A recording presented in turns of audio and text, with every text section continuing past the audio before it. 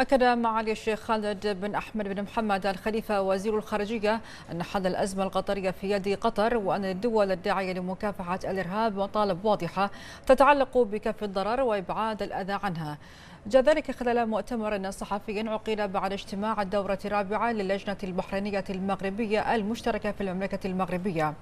وبدوره أوضح وزير الشؤون الخارجية والتعاون الدولي المغربي السيد ناصر بوريطة أن موقف بلاده مع الأزمة بل من الأزمة مع قطر واضح. ويعتمد إلى تاريخ من العلاقات بين المغرب ودول مجلس التعاون. مؤكدا أن ما قدمه معالي وزير الخارجية من مطالب هي مطالب مشروعة. من المنامة إلى العاصمة المغربية الرباط حيث أواصر العلاقات التاريخية تلتحم بين المملكتين الشقيقتين وتتطابق الرؤى ووجهات النظر في مختلف القضايا الهامة في المنطقة.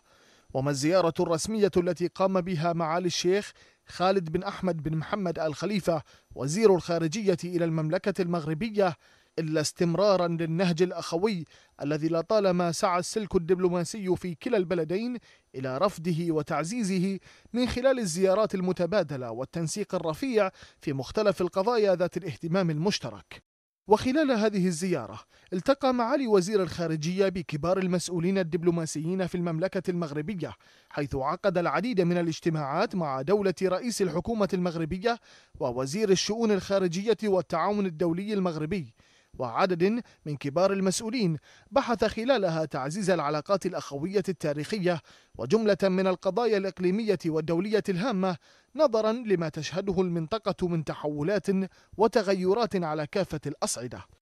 وتضمن جدول الزيارة عقد اجتماع الدورة الرابعة للجنة البحرينية المغربية المشتركة أعقبه مؤتمر صحفي أكد خلاله معالي وزير الخارجية على الموقف الثابت للدول الداعية لمكافحة الإرهاب والثوابت والمنطلقات الأساسية للأزمة مع دولة قطر.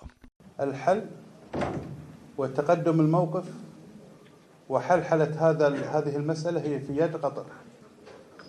لدينا مطالب. لدينا مطالب واضحة. لا تتعدى لا لا يتعدى شيء هذه المطالب. تتعلق بكف الضرر وإبعاد الأذى عن دولنا.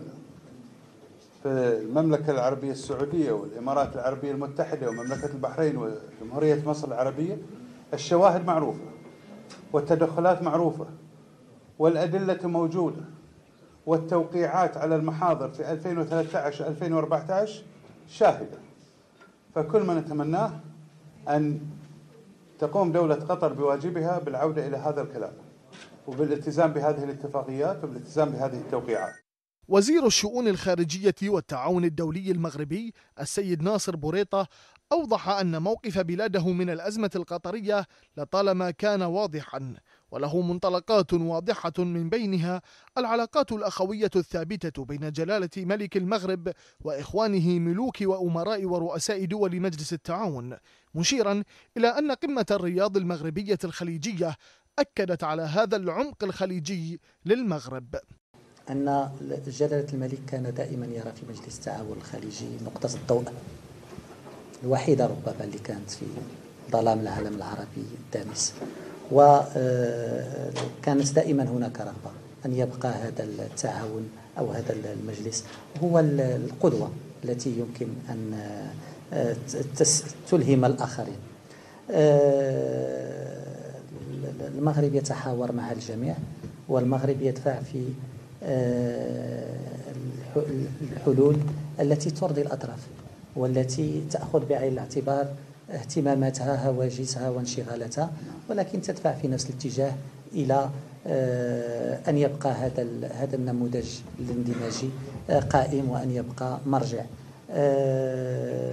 من خلال الحوار من خلال الحوار الجاد والشفاف التي تطرح فيه كل القضايا ومعالي الوزير طرح مجموعة من القضايا وهي وهي آه، آه، آه، يعني مشروعة ويجب أن يتم التعاون معها في إطار في إطار الحوار وفي إطار الأخوة التي تجمع هذه الدول. مطالب مشروعة تستند على جملة من الأدلة والوثائق. أكد معالي وزير الخارجية أنه يجب على النظام في دولة قطر أن يحترم هذه المطالب وينفذ ما وقع عليه في محاضر اجتماعات الرياض ليكون الحل بذلك بيد النظام القطري.